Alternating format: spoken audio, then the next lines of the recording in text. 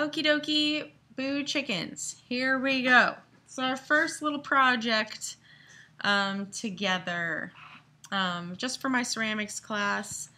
I want to work on this little selfie project and then hopefully you guys get them to me and I can post them around the classroom and so on. So I'm calling it deconstructed selfie. The principle of design we're talking about here is variety.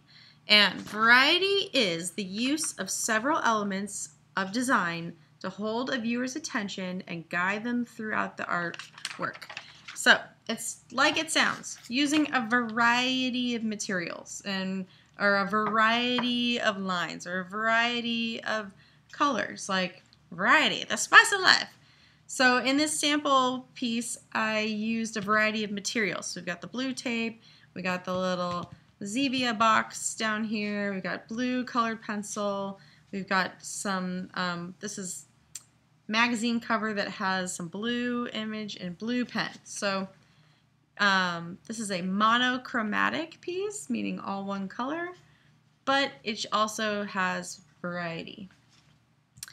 Okay, so for this project, you're to need a pencil, scissors, paper of some kind, any kind really. Tape or glue would be helpful. Um, found materials, so like hunting around the house, and a phone, aka camera, or a mirror. So let's get this party started. All right. Get myself a piece of paper. Okay, any old blank piece of paper could work. Computer paper would be fine. Just whatever you have um, lying around would be great. Okay, team. So what we're going to do first is take a little picture. So you're going to get out your phone, or I'm using the iPad here, and you're going to take yourself a little selfie. Tease. And here's the thing.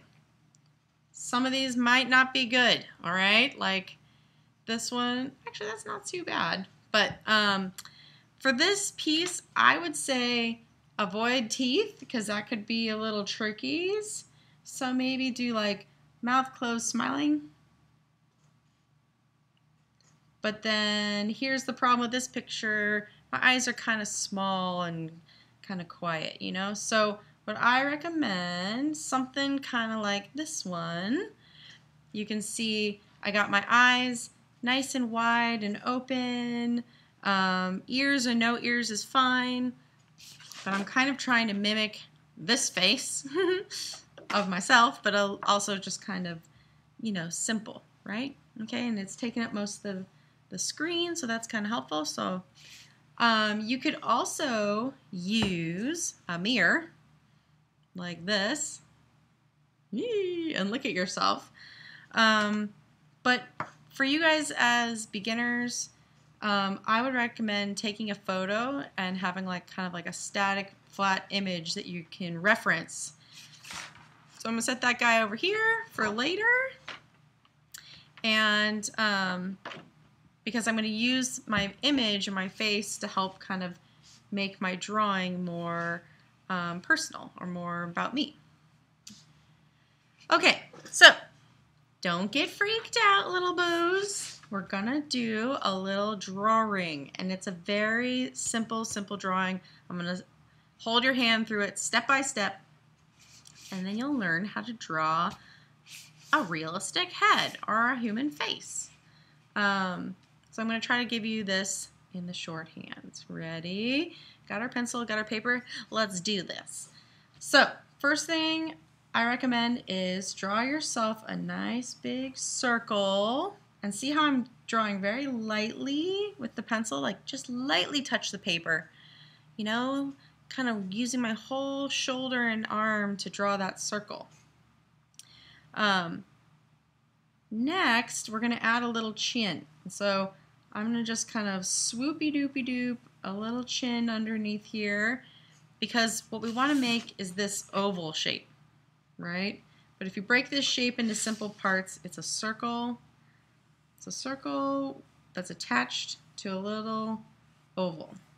Sound good? So something like this. Now, when you're starting out in drawing, a lot of people do these kind of drawings where they're like taking little short strokes and little hairy lines like this, like tap, tap, tap, tap, tap. You're almost like drawing dots and then connecting them. That's fine if that's where you're at at this point, but what I recommend you do is try to just kind of hover your pencil above the paper and try and just take some kind of sweeping lines. You know, sweeping, gentle lines. Um, if you want to, you can erase this little part of the circle here, whatever. Um, but you don't have to.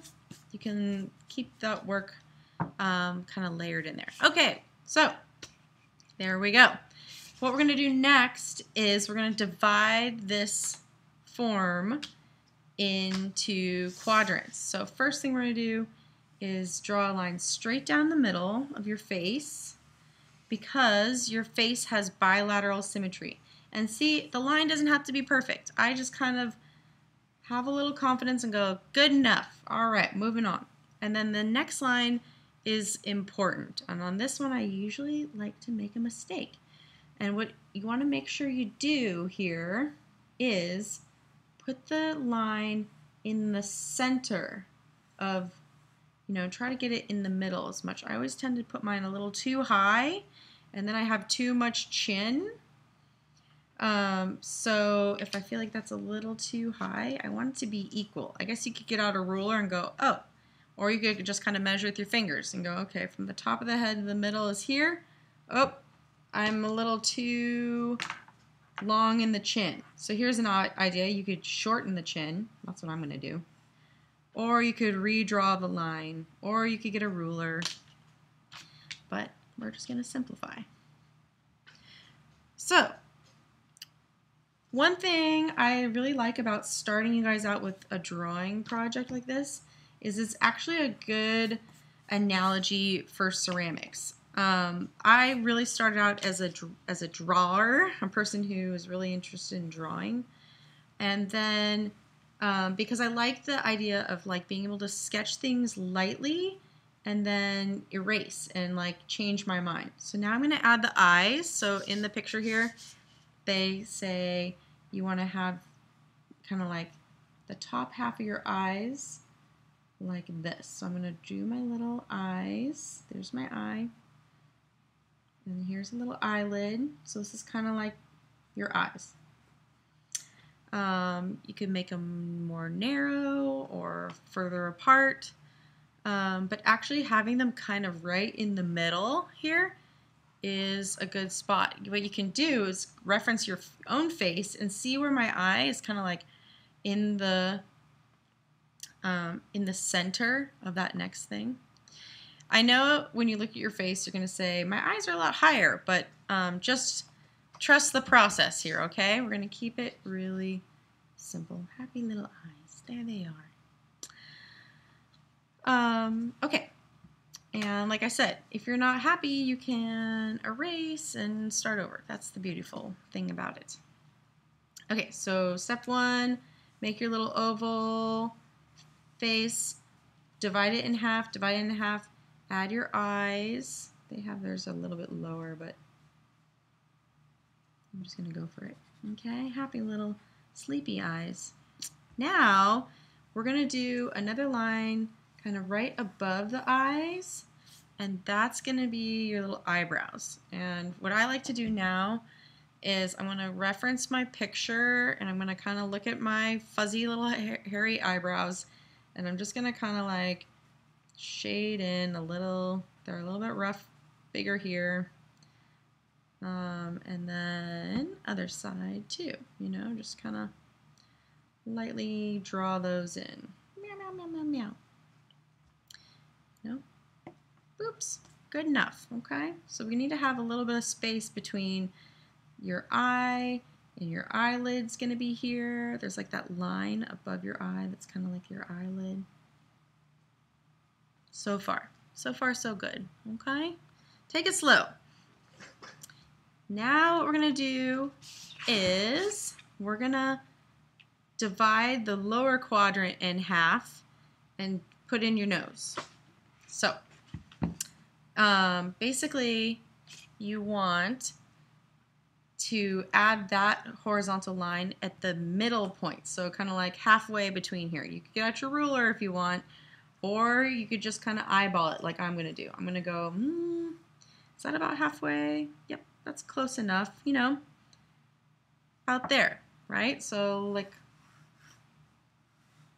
here are our lines. Okay, so we're dividing things in half. Easy, easy, easy. And this is where the tip of your nose is going to go, kind of down at the bottom here. So if you look at the picture, they've got the tip of the nose landing on this line.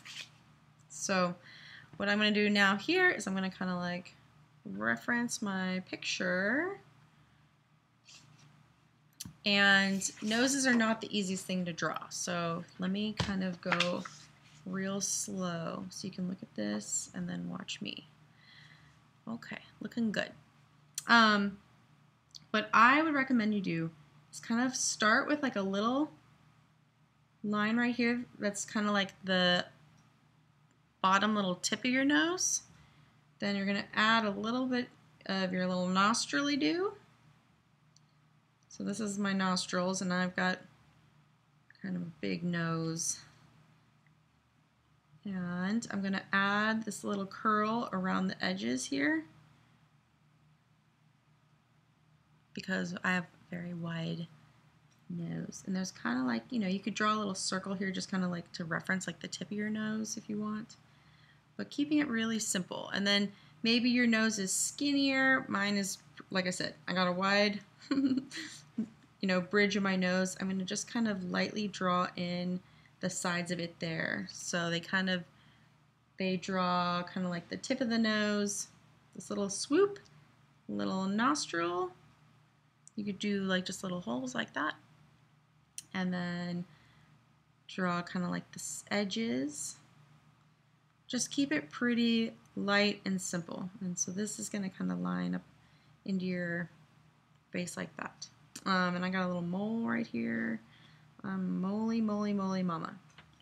But I like to start to kind of like make it have some elements that are like me.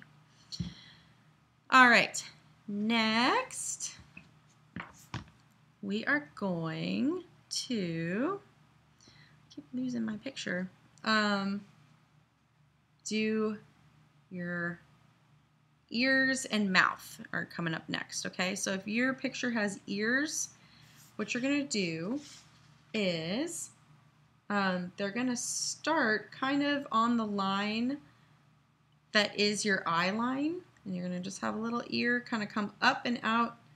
And then it's going to come down to the nose line. You're like, holy crap, that's a huge ear. But um, when you look at people's faces, that is the actual symmetry or the actual proportions of like where your ears are. So you could kind of like kind of loosely draw them in like this, little elf ears. And then eventually you could maybe do like a little something like this, you know, a little something like that. Um, but in my case, um, I don't have ears in this picture. So meow, meow, meow, meow, no ears for me. Um, super Sims. Okay. Um, and then mouth. So here we go, fun parts. Um, the mouth is actually going to be kind of about, it's not a halfway thing. It's about a third. You know, if you were like divide your chin into thirds, your mouth would be kind of in like the top third. So I've got like two thirds down here for, for chin, and I've got like one third up here for mouth, like the top of my, you know, your upper lip basically. So just kind of throw in a little line like this to get started. Okay, so we're to look back at our picture of our face here. And you can also see it kind of in this drawing right here um, that they draw kind of like a little, two little, um, that your lips aren't really flat. They kind of go like this a little bit, like you have that little point. Um, but then I'm also going to kind of add a little bit of a smile to mine, you know, like mine kind of goes up Eh, a little, just like that. Just something really simple kind of line. And then I'm looking at my own lips here, and I like to have, you know, you have like the little clef at the top of your lip, and then kind of like goes like this. You know?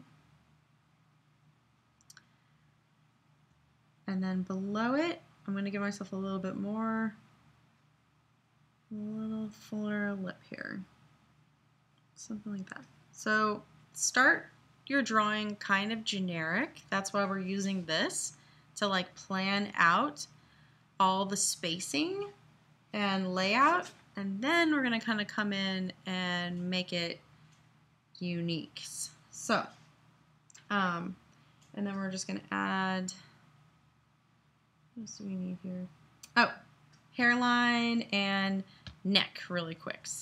So um, in mine, I kind of look underneath my neck and I have kind of like um, this little section kind of sticking out and then basically the little t-shirt kind of thing and then my hair is kind of over the front like this. So I'm just going to kind of draw some swoopy lines underneath to represent my neck and my shoulder like that.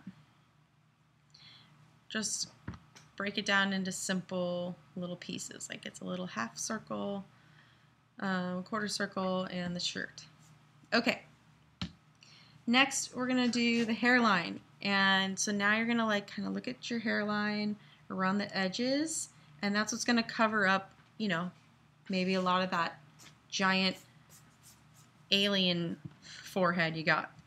Um, so for mine, what I like to do, I'm going to just kind of go with, um, I got this hair kind of comes over the front. I do have a like forehead line that kind of goes like this. Some little bits here. It's going to kind of go across the front here. You can have it kind of come down. And then my hair kind of just flows down this way. COVID hair. Haven't had a haircut since March except for one from my husband and it was uh, mediocre at best. So yeah, it's looking pretty rough over here in Kelly's hairland. Right, so just kind of doing this little part right here. And I love drawing hair because it's flowy and smooth and you can kind of look at the negative space and the shape of this and then kind of go, okay, how does that, where does it come to my shoulder? Kind of like this. That kind of goes back. Pretty much like that, something, you know? Simple, simple Miss T's head. Okay, so we got the basics, right? That's not bad. That's kind of like a pretty nice version of me. Um, oh, I gotta get my mole right here. Um, start adding little bits and pieces. And now what you want to do is dart your eyes back and forth and look to things to make it more unique. Like I know I need to make the side of my face here a little skinnier. And I'm going to kind of bring it in a little bit by my eye and then kind of out a little more by my cheek you see what I'm doing? Like this. And then my chin is like a little line under your chin here. And my chin is very round, like my grandma's chin. So it's nice you can kind of think about your relatives and people. And then it kind of goes out. So what's going to make it more unique is adding these subtle little curves to your face that are going to say, um, yeah, this is who I really am. This is not a generic head. This is Miss T. Okay, there we go. She's a white girl, you know? Um, maybe I might look at my lips here and go, oh, this is a little too um, harsh of a line. I'm going to kind of like smooth that out a little, you know? And it doesn't have to be symmetrical. That's the other thing that's going to make it seem more natural is like our faces are symmetrical, but at the same time, um, they're not perfectly symmetrical. Okay, then I see over here, I want to add this, you know, my little parentheses.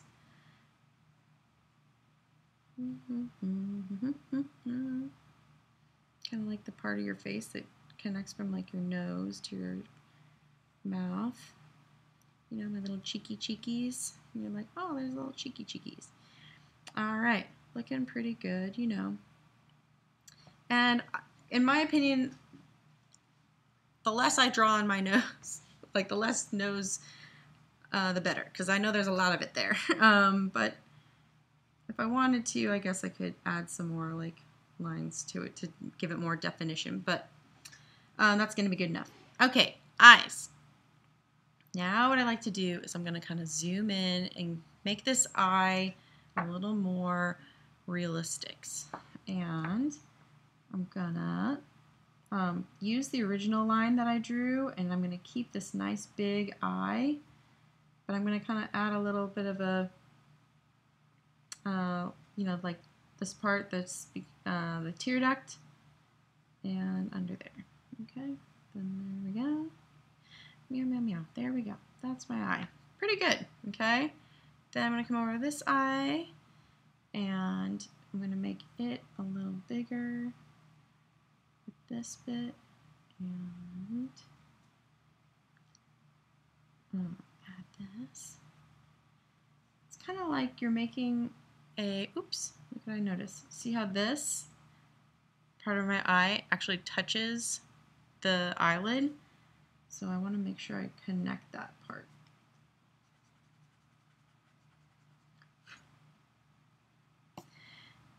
Yeah. And then I'm going to draw in the black part pretty dark and then just shade this in so you don't look like a total weirdo. Okay, there's the eyelid, little eyelid line, eyelashes. Okay, I'm keeping it pretty simple here. Okay, it's not a perfect, perfect depiction, but that's not really, you know, we're just starting out here, getting it pretty close. Um, there we go. Now we are ready to start thinking about breaking this apart into smaller pieces. So what I'm going to do now is we're going to cut this drawing um, into kind of like a puzzle. So I might need to like draw this a little harder, but just so I can see. If you really want to, you could erase all these lines, blah, blah, blah. We're not going to. Um, now what we get to do is use our scissors to basically continue the drawing. And what I'm going to do is I'm going to cut along my lines. And when you use scissors, you want to turn the paper okay? It makes it easier. Rather than trying to cut around a thing, turn the paper. Ooh, look at this. I'm turning the paper. And that's going to help me cut a really good bit. Okay? So what I'm going to do is I'm going to cut the rest of this hair and then we'll be right back. Okay, so there we go. I cut out my hair. Whoa! Now I'm going to cut out the face. So I've been kind of playing around with the idea of, um, you know, breaking your face into like a little bit of a puzzle piece. So on this one, I did sort of like a Phantom of the Opera style over my over my thing. So I'm gonna do. I still want to keep my shirt kind of like a separate element. So I'm going to cut that bit out.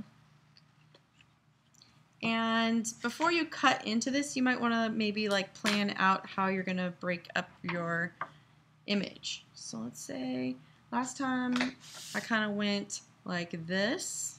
I kind of went, ooh, you know, around my face. This time, maybe what I'm going to do is go a different way. Maybe I want to go something that involves my lips. Like maybe go lips to here, up this, around the parentheses, around the nose. We're doing basically the same thing I did before. Yeah.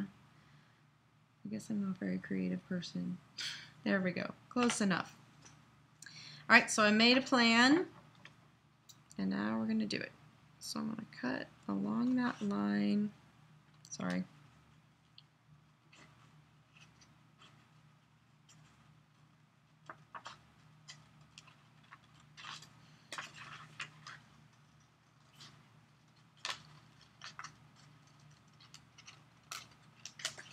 Okay. You may decide this is too weird for you, or maybe you want to like take a, you know, take a risk and, yeah, play around with ways of like dividing up your face into different sections. And how can you use materials or textures to represent yourself in these different sections. So,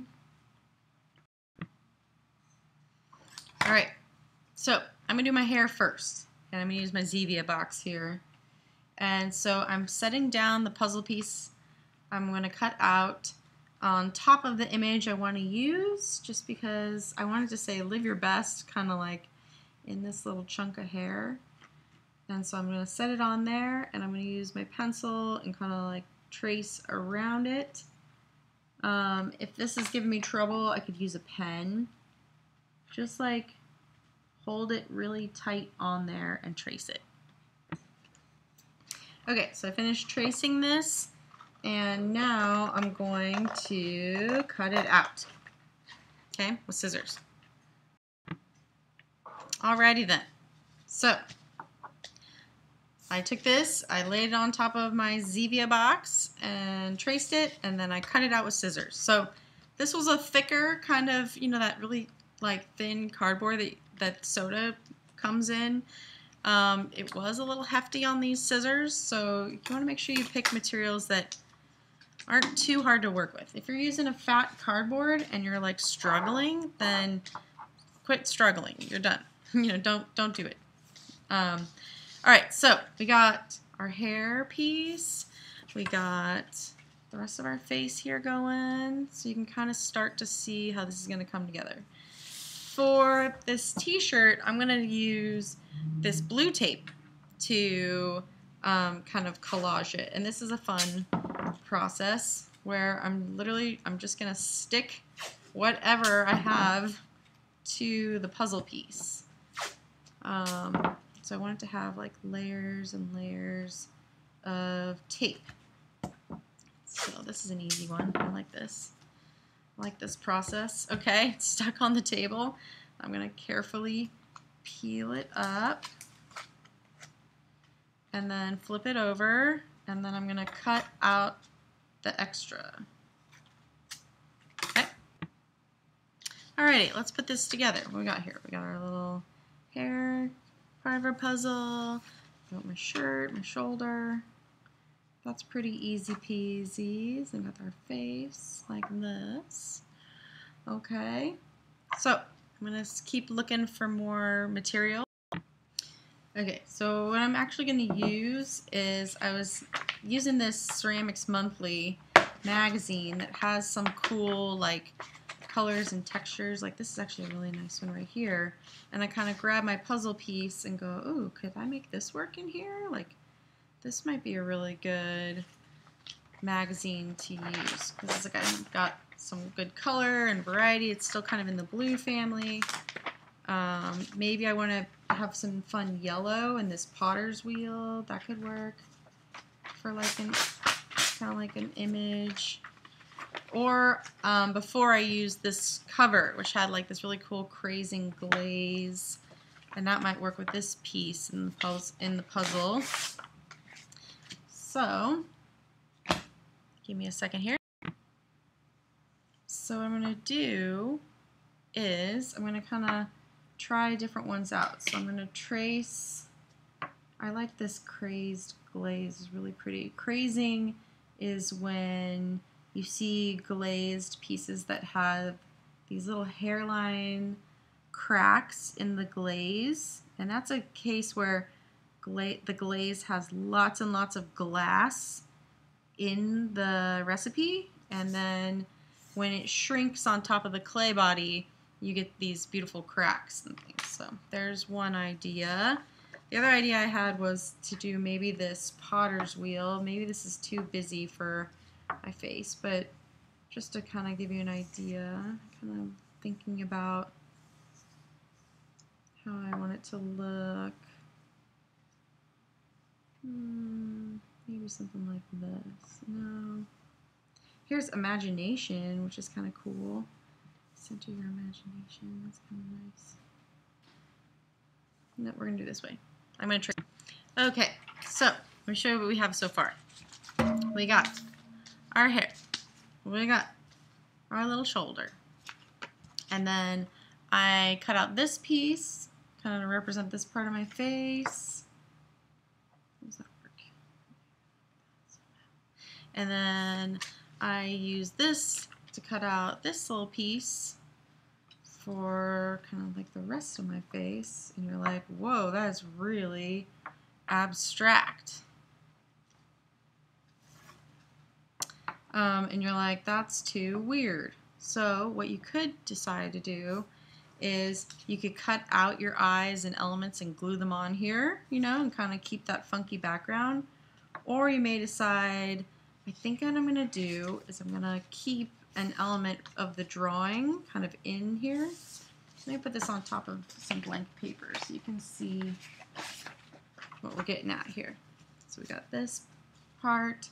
We're going to add this part.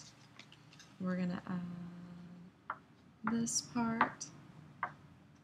And then we're going to pull our hair out of there and put this part in. So There we go. She should fit. Why is this not fitting? No, and you have your other originals there.